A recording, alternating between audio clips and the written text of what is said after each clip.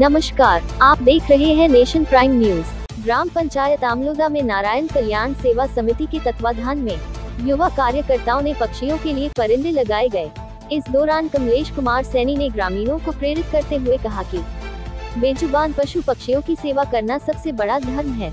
उन्होंने गाँव में जगह जगह भीषण गर्मी में पक्षियों के लिए परिंदे बांधने का संकल्प दिलवाया। व सार्वजनिक स्थलों पर हरे भरे पेड़ों के नीचे पक्षियों के लिए परिंदे व दाना पानी की व्यवस्था की गई। इस मौके पर अनेक युवा कार्यकर्ता उपस्थित रहे इसी तरह पॉजिटिव खबरों के लिए जुड़े हमारे साथ सब्सक्राइब का बटन दबाकर